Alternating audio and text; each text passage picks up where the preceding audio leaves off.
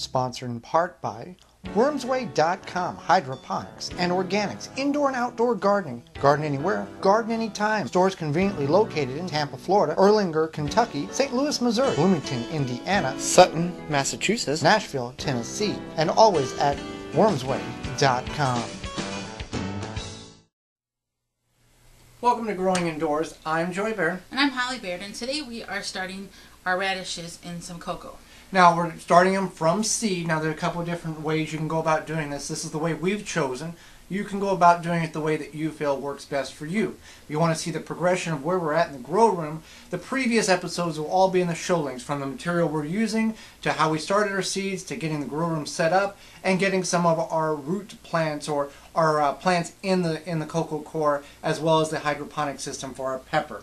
Now with the We've got this container filled with coco coir, mm-hmm. and we're going to plant champion radishes. These will take about 23 to 31 days approximately. They're just your normal grocery store red radishes, and we got them just soaking in some normal water. Now things are a little different uh, in growing in coco coir and hydroponics than what we had intended about because we were using well water and we realized that was not the way to go and the reason being well, we had too much iron in our well water, which is basically killing our plants. So therefore, we talked to some experts, and we have decided to, to use melted snow. So we take the snow that we've got a lot of, we melt it down, and then we filter it through a filter and a funnel so we can figure out our, how much we got. Now this is pure snow, we're not using any dirty snow or anything like that, but there are some dirt, you know, that acquires in the snow as it falls anyway. So we filter it down and we keep a couple gallons on hand. Now, if you're in an area where snow is not prevalent, what can they use? Well, you could probably use rainwater, but you would want to filter that. Also, you can add a nutrient to your well water to help with the iron, and or you can use reverse osmosis water. Now, with that that uh, the tablets or the to make the water pure, you can get that at wormsway.com as well. So it's however you want to fill, but you want to uh, make sure your plants are healthy because we're going through a lot of work and the plants were not doing so well. The pepper plant had actually died in the hydroponic system. So we had to figure out something was wrong and that the iron in the water was the problem. And the same thing holds true with the coco coir. Coco coir is a neutral, nutrient, uh, neutral-based material. It's not like soil whatever you add to the coco coir, the plants will absorb. Soil, you've got a lot of different microbial bacteria. It filters the water. It's just a natural process. But with the coco coir, we want to use pure water because that's what the plants or the seeds will be absorbing up. Yeah. So first to prep our coco coir, we're going to add this. It's a it's a positive bacteria that helps with root growth. So we add one scoop. It comes with a scooper, and we add one scoop per gallon. So we're just going to use this watering can and then you use a gallon of our snow water to mix it up and then we're just going to soak the coco coir to where it is moist before we plant our seeds.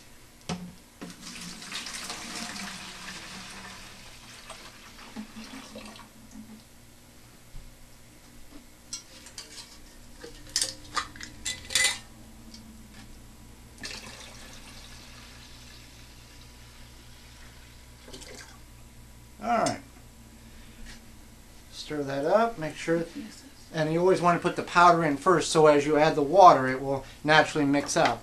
So we're just going to water the coco coir down. Not so much that it floods out the bottom, but that the coco coir absorbs the microbial bacteria nutrients.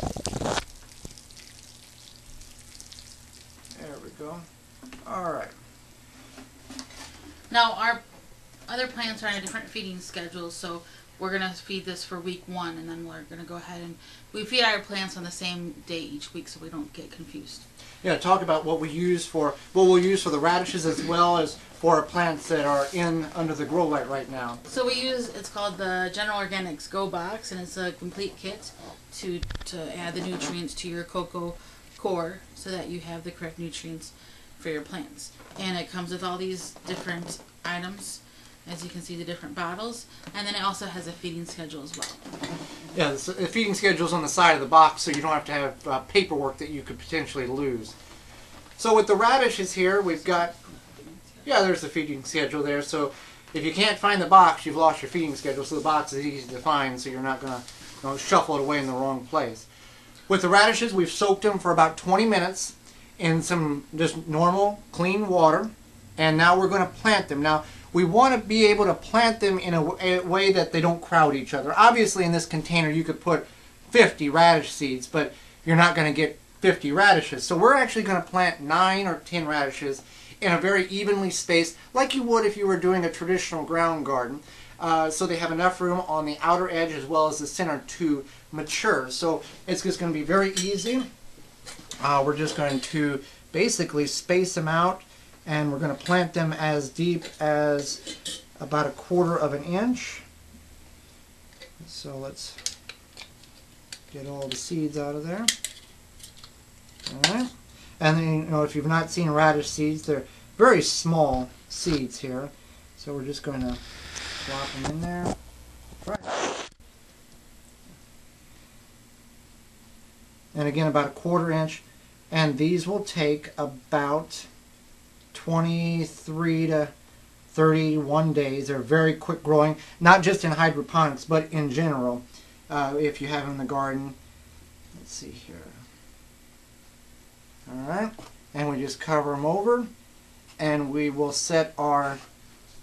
We'll go ahead and mix some more uh, nutrients up for the radishes, and then we'll do a separate feeding for the rest of the plants that are in the grow room, as well as we're going to start. Uh, we've got our bush beans here in a five-gallon nursery pot. We're going to start some and transplant them into a five-gallon smart pot to see the comparison as we're doing a comparison with the pepper and the hydroponics and the two tomato plants in a smart pot and the nursery pot. So we'll see which will uh, work best. So uh, we're excited about doing that. So hydroponics, indoor growing, it's not that difficult once you understand the procedure and know the right things and the wrong things to do. And you're going to make mistakes like we did as well. And one tip, if you're starting things at different times, like different weeks, then maybe you could either keep a notebook or you could even take like a, a sticker or something and stick it to the side of the pot and put when it starts so that you know when your feeding schedule is appropriate. So until next time, I'm Joey Baird. And I'm Holly Baird, and this has been Growing Indoors. For more information, please visit the WisconsinVegetableGardener.com.